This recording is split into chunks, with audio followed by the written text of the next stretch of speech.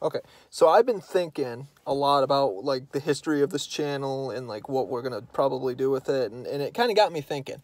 I want to make a channel that at least hits a million subs in some way or another. Like, I mean, because I feel like with Pokemon as a series, there are people on YouTube that have like well over a million subs almost, or or they're on track to hit a million subs, and that's all they upload is Pokemon videos.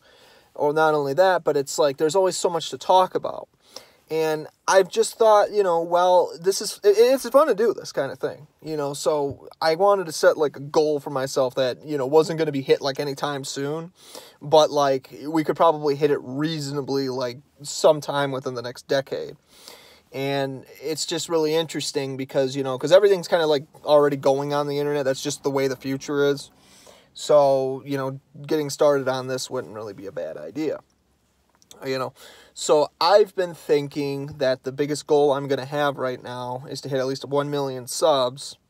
And then, of course, you know, we're going to try to hit, you know, you're going to hit 10,000, 100,000, and then, you know, then we'll go to a million, 10 million, and etc.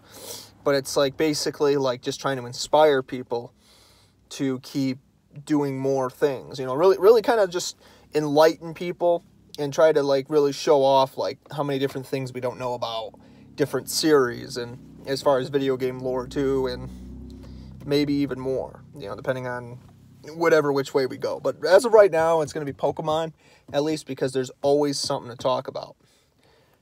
It's just you know i don't want to upload too much at once so that way people you know you know let people catch up with it first and then upload the next segments and all that. So this is basically just kind of like to let you know, like this this is which way the direction this this channel is going to be going in, and hopefully anybody who's along for the ride is going to tag along too. So if you're not already subscribed, please subscribe.